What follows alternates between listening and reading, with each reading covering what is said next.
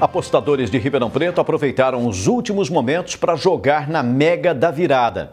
Mesmo ainda sem saber o que fazer com os aproximadamente 250 milhões de reais do prêmio, muita gente sonha em ser o mais novo milionário.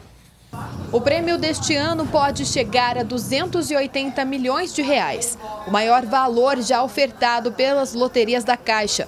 O último sorteio regular da Mega Sena foi acumulado e passa a compor o montante da Mega da Virada. Muita gente está com aquela, com aquela expectativa de ganhar os 280 milhões. Até eu também estou na expectativa, com certeza. Já fiz minha aposta também, que eu não sou boba. O diferencial da Mega da Virada é que o prêmio não acumula para um próximo sorteio.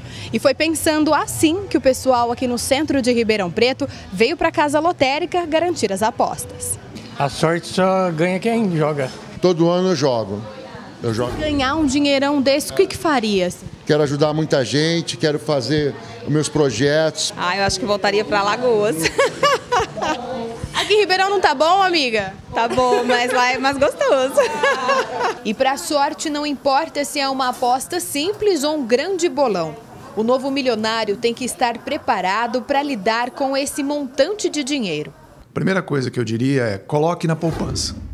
Respira fundo, tenha consciência e aí depois você pode fazer algumas opções. O consultor financeiro alerta que mesmo um ganhador da loteria pode se tornar um mau administrador da fortuna e quebrar financeiramente. Por N motivos.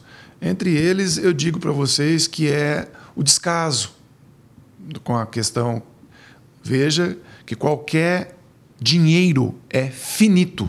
Um dia ele acaba, se você não fizer bem o uso dele. Na esperança de um 2018 cheio de realizações, os possíveis milionários surpreendem com a solidariedade. Se eu fosse rica, eu gostaria muito de ajudar as pessoas que moram na rua, porque muitas delas não, não têm condições, assim, sabe, de comprar comida, de morar em casas. Assim. Mas o que eu ainda não sei. E tudo de bom, tanto para mim quanto para o meu próximo. O sorteio acontece às 8 horas da noite de amanhã, a véspera de Ano Novo. Boa sorte aos apostadores de todo o Brasil. Thaís Mantoani para o Jornal da Clube.